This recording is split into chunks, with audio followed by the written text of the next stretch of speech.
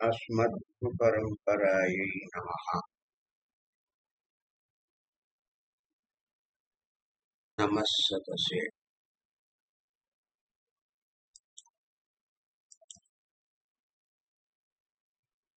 வியாசர் அரிய பெரிய முயற்சியினாலே வேதங்களை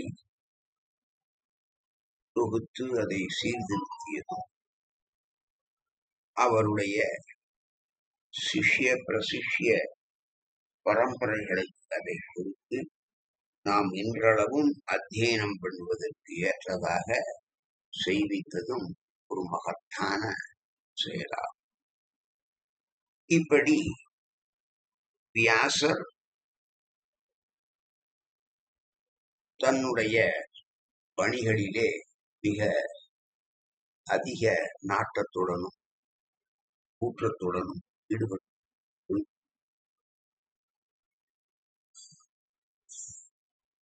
வேத வியாசருடைய தாயாராகிற சத்தியவதியானவள் வியாசரை பெற்ற பிறகு தன்னுடைய மீனவ தந்தையிடமே வழக்கம் போலே வாழ்ந்து வருகிறாள். அவள் தாயாக இருந்தாலும் கூட பராசரனுடைய அந்த வரத்தின் மகிமையினாலே கன்னியாகவே திரும்பவும் ஆனதாலே அந்த கன்னி பருவம் கழிந்து அவள் யௌவன வயதை அடைந்தாள். அவளுடையதான அந்த கவர்ச்சிகரமான அழகு அந்த முகத்தோற்றம் கண்டவர்களை அப்படியே சுண்டி இழுக்கும் விதமாக இருந்தது. அவளை பார்ப்பவர்கள் அனைவருமே அவளுடைய அந்த வசீகரத்துக்கு ஆட்பட்டனர். இப்படி இருக்கும் பொழுது ஒரு நாள் அவள் சந்தனு மகாராஜா என்று அழைக்கப்படுகிற இந்த கௌரவ வம்சத்தினுடைய ஒரு முக்கிய மகாராஜாவா? அந்த சந்தனு மகாராஜாவினுடைய. அங்கே சந்திப்பு நடக்கிறது. அவளை பார்த்த மாத்திரத்திலே சத் சத்தியவதியை பார்த்த மாத்திரத்திலேயே அந்த சந்தனு மகாராஜா காதல் கொள்கிறார் அவர் ஏற்கனவே மணமானவர். கங்காதேவியை மணந்து அவளிடத்திலே எட்டு புத்திரர்களை பெற்றவர். அவர்கள்தான் அஷ்டவசுக்கள். அதுல கங்காதேவி கல்யாணத்துக்கு எப்போ ஒத்துண்டான்னா நான் எந்த செயல் செஞ்சாலும் ஏன் பண்றேன் ஏன் பண்றேன் நீங்க கேட்கக்கூடாது. அந்த மாதிரி இதா இருந்தா சரின்னு அவருடைய அழகினுடைய மோகத்துல கட்டுண்டதான சந்தனு மகாராஜா சரின்னா போட்டும் அவ குழந்தை பிறந்த உடனே பிறந்த உடனே ஏழு குழந்தையை கொண்டு கங்கையர் கொடுத்தா எட்டாவது குழந்தையான பீஷ்மர். அந்த பீஷ்மரை கங்கையில போடுறதுக்கு போனான் அதெல்லாம் போடக்கூடாது எனக்கு பிறந்த குழந்தைய கொண்டு போய் கங்கையில போட்டு சாகடிக்கிற அப்படின்னு கேட்டார். நான் ஏன்னு கேட்கக்கூடாதுன்னு ஏற்கனவே சொல்லியிருந்தேன். அதை மீறி கேட்டீங்க. அதனால நான் உங்களை பிரிஞ்சு போறேன். அப்படியே கங்கையில இறங்கி கங்காதேவி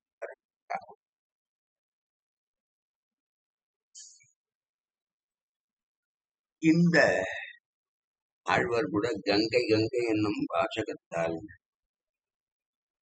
தாம் உவம் கதா இதி கங்கா. அந்த கங்கைங்கிறது அவ்வளவு மகத்துவமானது. நாம பண்ண அத்தனை பாபங்களும் அதனுடைய அந்த சுந்தரம் அதுல தீர்த்தாமன்னாலே அப்படிப்பட்ட மகா புண்ணிய நதி அது. அந்த கங்கையானது எம்பெருமான் திருவிக்கிரம அவதாரம் பண்ணின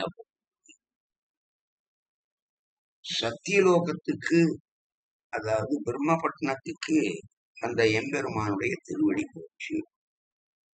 அழையா விருந்தாளியாக வந்திருக்கிற எம்பெருமான் திருவடிய ஆராதிக்கணுமே. அதுக்காக பிரம்மதேவன் பதறி போய் தன்னுடைய கமண்டலத்துல தர்மதேவிய ஆவாகனம் பண்ணி அந்த அந்த ஆகாச கங்கை நீரை எம்பெருமானுடைய இடது பாத கட்டவர்க்கு நுனியில சேர்க்கிறான் சீபாத தீர்த்தம். அந்த சீபாத தீர்த்தம் கீழே விழுந்து அது அசுத்தமாக கூடாதுங்கிறதுக்காக அந்த ஜடாமுடியனான சிவபெருமான் தன் தலையில தாங்கிக்கிறான் அந்த கங்கை நீரானது தேவலோகத்துல ஓடிட்டு அத பகீரதன் பிரம்ம பிரயத்தனம் பண்ணி அத பூலோகத்துக்கு கொண்டு வந்தான். அதனாலதான் கங்கைங்கிற பேர் எப்படி வந்ததுன்னா காம்புவம் கதா இதி கங்கா. அந்த தேவலோகத்திலிருந்து பூலோகத்துக்கு வந்ததாலே அதற்கு கங்கை என்ற பெயர் வந்தது.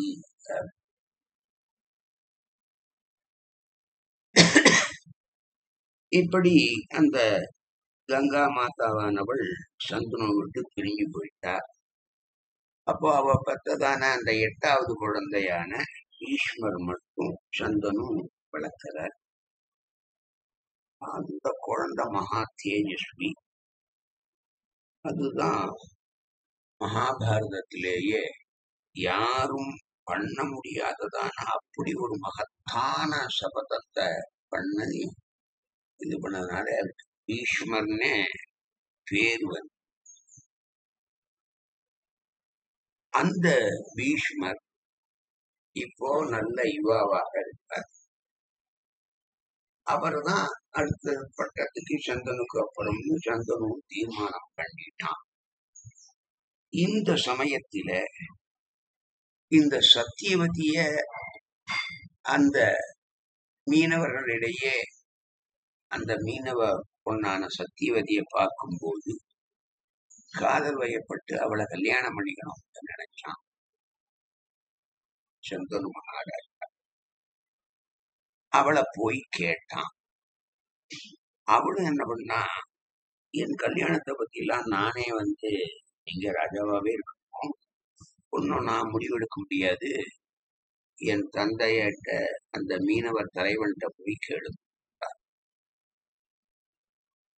அந்த உச்சை சிரவசிட்ட அவ சத்தியவையனுடைய தந்தை இல்லையா அந்த மீனவர் தலைவன் அவங்கிட்ட போய் இவர் நான் இவளை கல்யாணம் பண்ணிக்கிறோம் அப்படின்னு கேட்கிறார். பொண்ணை கல்யாணம் பண்ணிக்கிறோம் அந்த உச்சை சிரவஸ் ரொம்ப கெட்டிக்காரன். அவன் என்ன பண்ணா இந்த சந்தனு மகாராஜாவினுடைய காதல் வயப்பட்டத தன் பெண் மேல நன்னா அப்போ எனக்கு ஒரு உத்தரவாதம் நீங்க கொடுத்தாள் எனக்கு ஒரு வரம் கொடுத்தா என் பொண்ணை உனக்கு எனக்கு எந்த விதமான ஆக்ஷேபணம் இல்லை அப்படின்னு அந்த வரம் என்னன்னா என் பொண்ணுக்கு பிறக்கிற குழந்தைக்குத்தான் நீ அடுத்து உனக்கு அப்புறம் ராஜாவா முடிசூட்டி அவனைத்தான் மன்னவனாக ஆக்கு. அப்படி நீ அதுக்கு ஒத்துக்கிறதா இருந்தா என் பொண்ணை உனக்கு கல்யாணம் பண்ணி கொடுக்குறேன் அப்படின்னு சொன்னான் உச்சை சிவஸ் இவர் பதிலே சொல்லல. ஏன் பதில் சொல்லல அப்படின்னா தன்னுடைய மனைவியான கங்கையின் மூலம் பிறந்த எட்டாவது குழந்தையான மகா தேஜஸ்வியான பீஷ்மர் உயிருடன் இருக்கும் போது அவனைத்தான் ராஜாவாக்க வேண்டுமே தவிர இந்த மீனவ பெண்ணுக்கு பிறக்கும் குழந்தைகளை ஆக்குவதுங்கிறது சாத்தியமில்லை அப்படிங்கிறத நல்லா தெரிஞ்சுண்ட அந்த சந்தனு ராஜா மௌனமா திரும்பி ஆனாலும் யாரோடையும் பேசுறது இல்ல பழகிறது இல்லை சரியான அன்னபானாதிகள் கிடையாது. இப்படி அவர் ஒரு பித்து பிடிச்சவன் மாதிரி இருக்கிறத பார்த்தார் ஈஸ்வர் அதுக்கு உடனே அந்த தேரோட்டி அழிச்சுன்னு எங்கடா போனார்? எதுல எங்கடா இருக்காரு எங்க அப்பா அப்படின்னா மாதிரி அந்த மீனவர்கள் இதுக்கு போனார்? சத்தியவதியை பார்த்தார். அதுல இருந்து மாதிரி சரி அப்படின்னு அந்த மீனவர் தலைவனான அந்த உச்சை சிலவசங்கிட்ட தானே நேரா போனார் பீஷ்மர். அந்த சத்தியவதிய எங்க அப்பாவுக்கு கல்யாணம் பண்ணி கொடுக்கறதுல உனக்கு என்ன ஆக்ஷேபம் அப்போ இல்ல என் பொண்ணுல என் பொண்ணு வயத்துல பிறக்கிற குழந்தைக்கு தான் அரசாட்சி கேட்டேன். அதுக்கு அவர் முடியாது. பதிலே சொல்லாத போயிட்டார் நான் தான் இப்போ அந்த சந்தன மகாராஜாவுடைய இளவரசா நான் தான் இருக்கேன். அதனால இப்போ நான் உங்களுக்கு ஒரு உறுதிமொழி அவர் கொடுக்காத உறுதிமொழியை நான் கொடுக்கிறேன். என்னுடைய ஆயுள் பரியந்தம் நான் பிரம்மச்சாரியாகவே இருப்பேன். பீஷ்மர் சொல்றார் அந்த மீனவர் தலைவரான சிவசு அதனால சந்தனு மகாராஜுக்கும் சத்தியவதிக்கும் குழந்தை பிறந்தா அதுவே அரசனாக இருப்பேன் எனக்கு அதனால எந்த பாதம் ஏன்னா அது மட்டும் இல்ல அப்படி சந்தனு மகாராஜுக்கு உன் மகளிடத்திலே குழந்தை. அந்த குழந்தை நன்னா வளர்ந்தா அதுக்கு எல்லா விதத்திலேயும் நான் உண்மையாக இருப்பேன் அவனையும் காப்பேன் அவன் நாட்டையும் காப்பேன் அப்படின்னு அந்த மீனவர் தலைவர்கிட்ட சொல்றார் பீஷ்மர். அப்போ இந்த இயற்கையே ஒடுங்கும்படியாக அந்த துரித கதியில தன் வேலையை செவ்வனே அப்படியே மேல மேல மேல மேல சூரியன் சந்திரனும் அப்படியே போயிட்டு இருக்கும் அதெல்லாம் கூட அப்படியே ஒரு நானோ செகண்ட் அது அப்படியே நிக்கிறதாம். பிரமிச்சு போய் அந்த மாதிரி ஒரு மகா சபதத்தை எடுத்துக்கிறார் நான் நைஷ்டிக பிரம்மச்சாரியாவே என்னுடைய ஆயுள் பரியந்தம் இருப்பேன் அப்படின்னு சொன்னால அவருக்கு பீஷ்மர்னு பேர் வந்து அப்படிங்கிறதெல்லாம் நமக்கு தெரிஞ்சது இவர் இப்படி சொல்லி சபதம் பண்ண உடனே அந்த மீனவர் தலைவனான சுரசு சம்மதிச்சான். சந்துரு மகாராஜாவும் சத்தியவதி கல்யாணம் நடந்தது. ரெண்டு பேருக்குமே இது ரெண்டாம் கல்யாணம் ஏன்னா சந்தனு மகாராஜாவுக்கு முதல்ல கங்கை கூட கல்யாணம். இவளுக்கு பராசர முனிவர் அதனால ரெண்டு பேருக்குமே சந்தனுக்கா இருக்கட்டும் இல்ல சத்தியவதிக்கா இருக்கட்டும் ரெண்டாவது கல்யாணமா? சரி சத்தியவதி இந்த சந்தனு மகாராஜாவுக்கு ரெண்டு ஆண் குழந்தைகளை மூத்தவன் பேரு சித்ராங்கதன் ரெண்டாவதவன் பேர் விசித்திர வீரியன் இந்த ரெண்டு பிள்ளைகளும் சின்ன குழந்தையா இருந்தபோது சந்தனு மகாராஜா அவர் மரணித்து விட்டார் காலகத்தி அடைந்தார். உடனே பீஷ்மர் தான் பட்டத்துக்கு வர முடியாது இல்லையே ஏன்னா தன்னுடைய சபதத்தினால? அதனால இந்த மூத்த பிள்ளையான சித்ராங்கதனை பட்டத்து அரசராக முடிசூட்டினார் ஒரு சமயத்துல ஒரு கந்தர்வன் ஒருவன் அவனுக்கும் சித்ராங்கதன்னே பேர். நீ என் பேரை வச்சுட்டு இருக்கியான்னு ஒருத்தர் சண்டை வந்தது. அந்த சண்டையில அந்த கந்தர்வன் இந்த சந்தனு மகாராஜாவுடைய பிள்ளையான சித்ராங்கன்னா அவன் சித்து.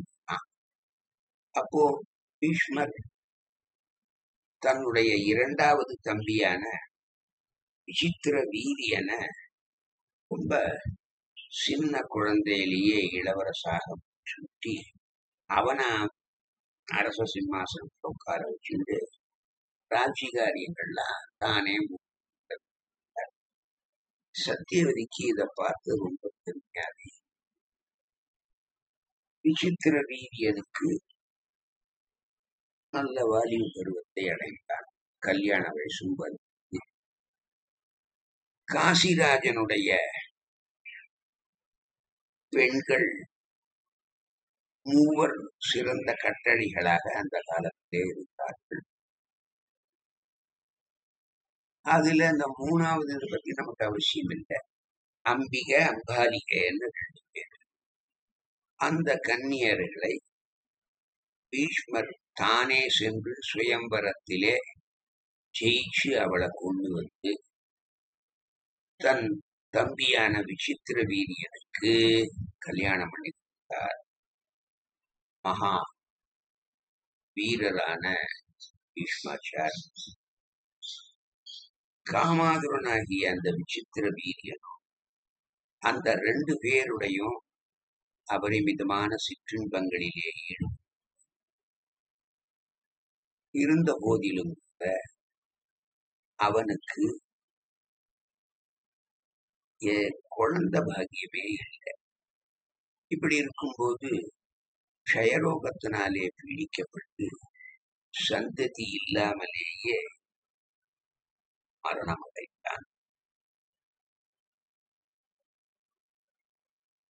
இங்கே அவ்விருவரின் மாமியாராகிய சத்தியவதியும் மருமகள் ரெண்டு பேரு சந்தனு மகாராஜாவும் போயாச்சு இந்த அம்பிகை அம்பாலிகையினுடைய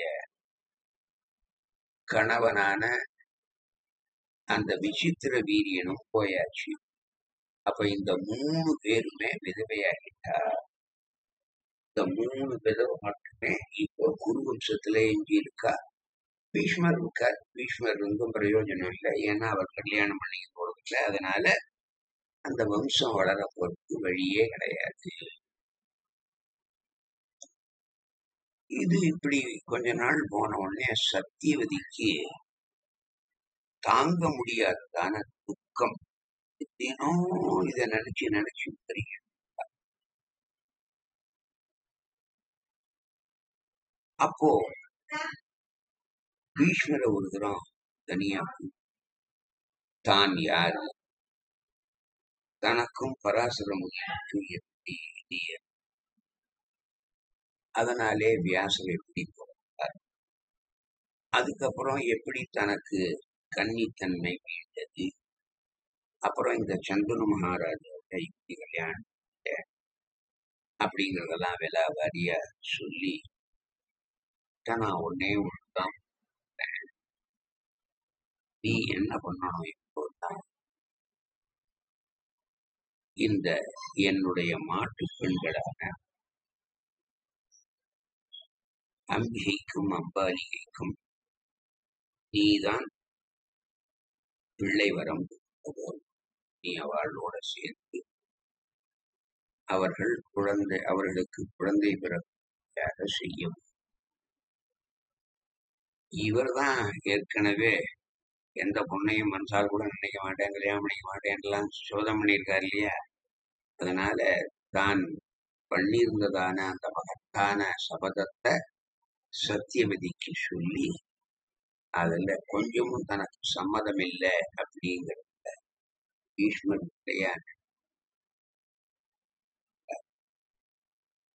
பீஷ்மர் ஒரு உறுதியில நின்னா அவருடைய உறுதியை யாரால முடியும் சத்தியவதி எவ்வளவோ ட்ரை பண்ணாலும் இப்படி இந்த ராஜ்யத்துக்கு ஒரு ராஜா இல்லாம போறதே அப்படிங்கிற தர்ம சங்கடத்திலிருந்து தம்மை விடுவித்துக் கொண்டார். ஏன்னா நான் தான் கல்யாணம் பண்ணிக்க மாட்டேன் அப்படின்னு சொல்லி நைஷ்டிக பிரம்மச்சரியம் அதனால எந்த ஒன்றுடைய அது அதனால நான் சத்தியவதி சொல்லி செய்ய மாட்டேன் அதுக்கப்புறம் அவ பார்த்தா சத்தியவதி பராசர முனிவருக்கும் கன்னி பெண்ணான இருந்த தனக்கும் கிருஷ்ண துவைபாயனர் என்றது என்ற ஒரு பிள்ளை பிறந்தது. இப்ப அதுதானே வேத வியாசரா அத அந்த பீஷ்மரிடத்துல திரும்பவும் நினைவு அப்போ பீஷ்மர்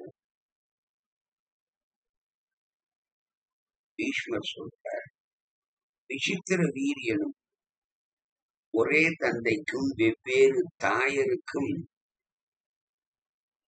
பிறந்தவர்கள் சத்தியவதியினுடைய பெரும் முயற்சியின் பயனாக வேதவியாசருக்கும் இந்த அம்பிகை அம்பாலிகையான அந்த சத்தியவதியின் நாட்டுப்பெண் ரெண்டு பேருக்கும் சம்பந்தம் அது மட்டும் இல்லாத வேத வியாசருக்கோ அல்லது அவர்களுக்கோ இந்த சத்தியவதி பண்ண ஏற்பாடானது சகஜமா தெரியல. அதாவது இந்த சந்தர்ப்பம் தவிர அதுக்கு முன்னாலேயோ அதல்ல அல்லது அதற்கு பிறகோ அந்த அம்பிகையும் அம்பாலிகையும் வேத வியாசரை கண்ணால பார்த்தது கூட கிடையாது. காதால அவரை பத்தி கேட்டது கூட கிடையாது. இப்படி இருக்கும்போது தன்னுடைய மாமியார் தங்களுடைய மாமியாரின் கட்டளையின் நிறைவேற்றுவதற்காக ஒரு குறிப்பிட்ட நாளில் நடுமிசியிலே திடீரென வியாசர் தோன்றினார். அந்த இரு பெண்களுக்கும் கர்ப்பாதானம் பண்ணிட்டு உடனே அந்த க்ஷணமே கானகத்தை நோக்கி விட்டார். இதையெல்லாம் தன் தாயிட்ட அவரே எடுத்து சொல்றார். அதுக்கு முன்னால ஒரு கண்டிஷன் விட்டார் அம்மா கேட்ட உடனே தம்முடன் கூடுவதற்கு தகுதி பெறுவதற்காக மினிமம் ஒரு வருஷமாவது ஜாக்கிரதை கூட அப்படின்னு சொன்னார். அதனால சத்தியவதியும் தன் மாட்டுக்கு அப்படிப்பட்ட கட்டளையை அப்படியே அவர்களும் ஓராண்டு அந்த இவளும் நடந்த பிற்பாடுதான் வியாசர் அந்த நடுச்சியிலே இருப்பார் எதிர்பார்த்தபடியே குழந்தைகள். ஆனா சின்ன மனம்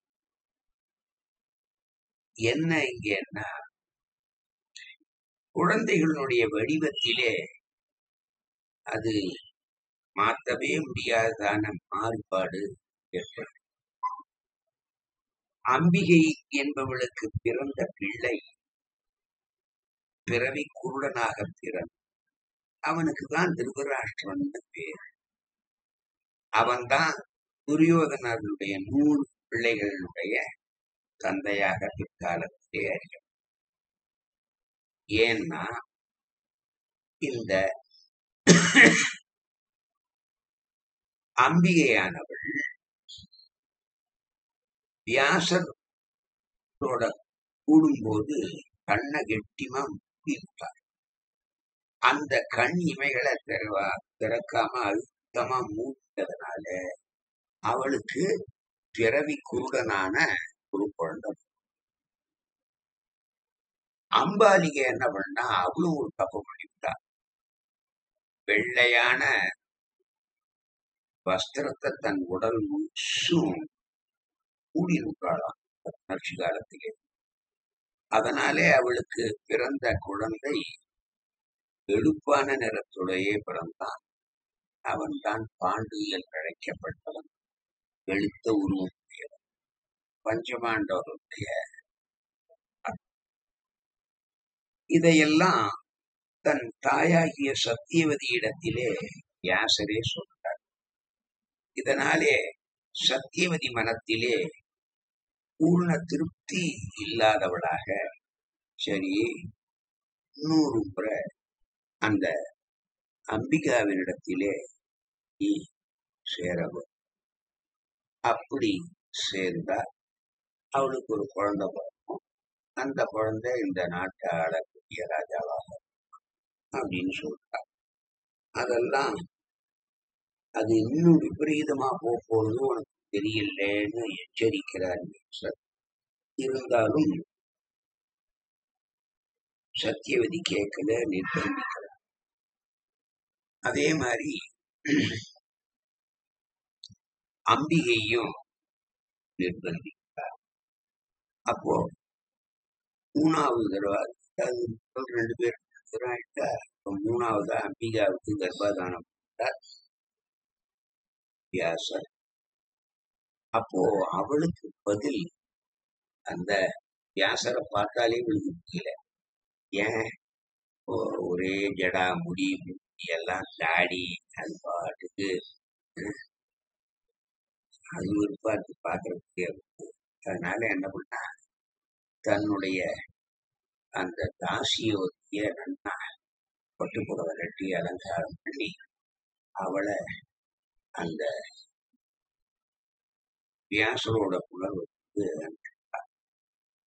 அவர் தான் இந்த யார் வந்துட்டா என்னங்கிறத அந்த பலனம் தானே அவருக்கு அவருக்கு சேர்ந்தார்.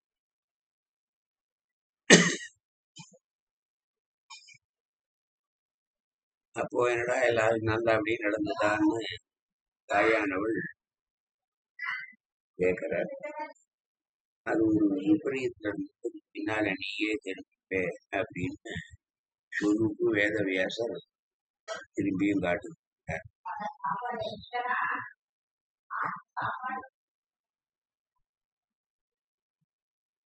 இப்படி இந்த மகாபாரத கதாபாத்திரங்களான திருராஷ்டிரன் பாண்டு அவர்களுக்கு இறக்கம் என்ற கௌரவர்களுக்கு பஞ்சபாண்டவர்களுக்கு இதுக்கெல்லாம் ஒரு